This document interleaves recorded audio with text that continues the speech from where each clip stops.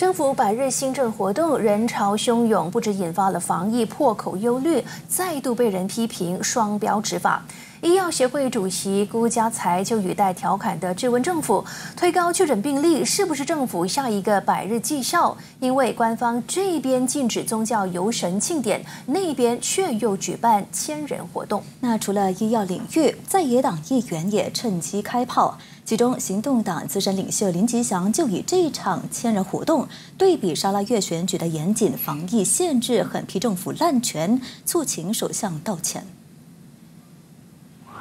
新冠变异毒株 Delta 和 Omicron 的双加功下，我国疫情依然严峻。不过，就在政府有意禁止大宝森节游行和若佛古庙游神的节骨眼，政府却一连四天举办千人百日新政活动，现场人头攒动，既引发防疫破口隐忧，也让人质疑这是不是只许州官放火，不许百姓点灯呢？其中。大马医药协会主席辜家才就发文嘲讽政府推高新冠病例，是不是政府的下一个百日绩效呢？他更措辞强烈的批评，国家正面对 Delta 和 Omicron 变异毒株，但政府却似乎还在努力捞取政治宣传。接着他还调侃说，政府这边禁止宗教或抗议物价上涨等游行，但那边却又举办大型活动，似乎在告诉大家，病毒是选择性感染的。除了发表声明，顾家才接受自由今日大马访问时，也替卫生部和其部长凯里